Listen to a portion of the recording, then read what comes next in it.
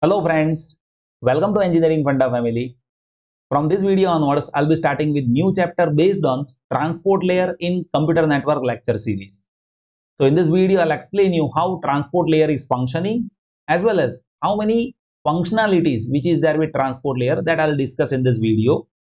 In this chapter, all the functionalities that I'm going to explain you in great detail. But first you need to understand how transport layer is placed in computer network and how it is working. So here you should know transport layer that is layer number 4 in OSI model that is a reference model for computer network as well as transport layer is layer number 4 in TCP IP model. Widely we are using TCP IP in computer network but reference model is OSI model right. So with both of this model layer number 4 will be transport layer. Let me show you how it is there. See when it comes to OSI model in that we will be having seven layers, right? You can observe over here. And in TCP IP model, instead of these three layers, we will be having application layer over here. And after that, we will be having transport layer. So in OSI model, this layer number four, that is transport layer. Now see how transport layer functions. So transport layer will take input from session layer that is data. So data will be input to this transport layer and it will perform segmentation and output will be segment. So if you observe frame structure, if you observe frame structure, then in that you see here we are having MAC address of source and destination that we are adding at data link layer. If you observe here IP address of source and destination is there that we are adding at network layer and if you observe here we are having segment that we are generating at transport layer. So input to transport layer will be data and output of transport layer that will be segment. Right. Now what is segment? See here data will be raw data. That data may be MP3 data. That data may be video data. That data may be image data. That data may be text data. Right. That data could be anything. Means you can say here data size may be anything. It may be large data. It may be small data. Now you want to communicate on computer network.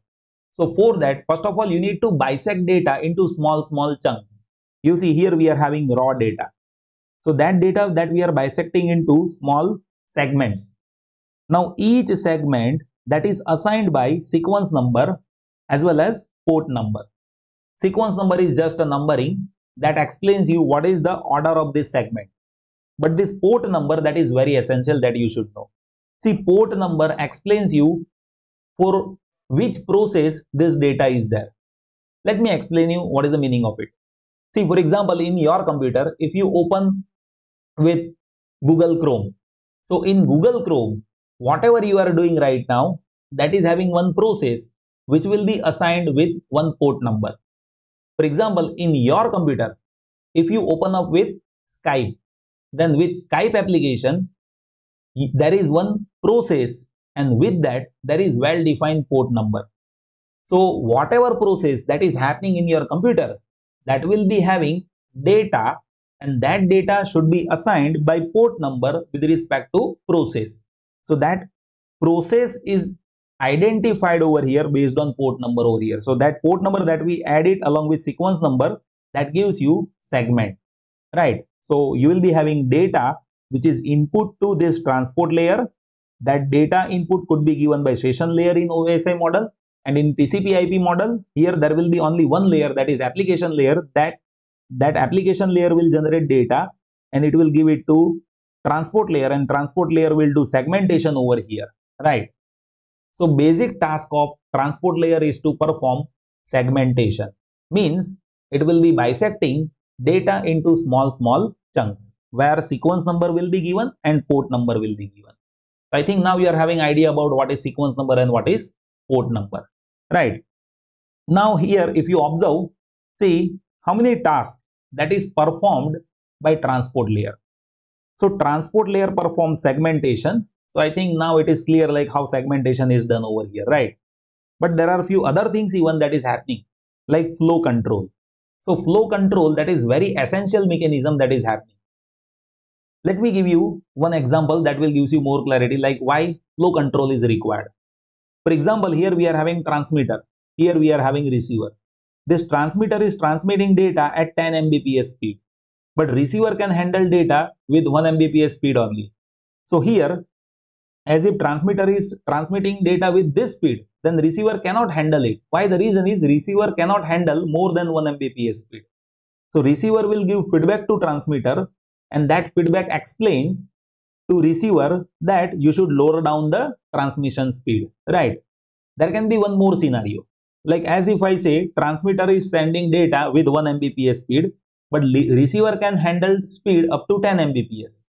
So as if receiver is receiving 1 Mbps speed data, then receiver can give feedback to transmitter regarding you can increase the speed up to 10 Mbps.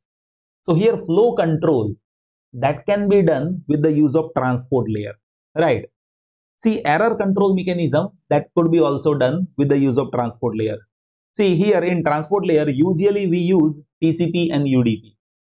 About TCP and UDP, I have made one separate video, you just go through it, in which I have explained briefly how TCP and UDP is functioning in comparison, right?